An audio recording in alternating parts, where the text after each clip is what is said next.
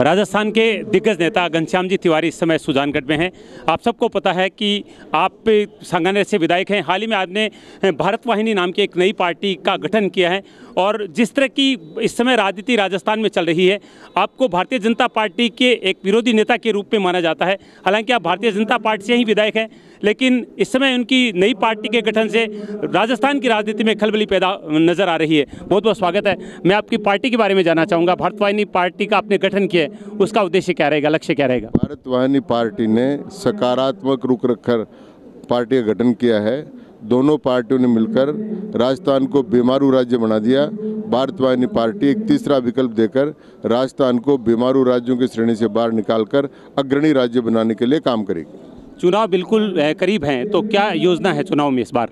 चुनाव के पहले हमने चार साल से लगातार संपर्क करके हमारा काम किया है। हम एक तीसरा फ्रंट बनाकर सभी 200 विधानसभा क्षेत्रों में चुनाव लड़ेंगे। सर तीसरे मोर्चे के बारे में पूछ रहे हैं। एक और हनुमान बेनीवाल पूरी ताकत लगा रहे हैं। उधर मीणा जी है जो उन्होंने जो भारतीय जनता पार्टी में शामिल हो चुके हैं। तो तीसरे मोर्चे के पास विकल्प क्या है? ताकत क्या है? विकल्प तो जनता पैदा करती है नेता नहीं करती।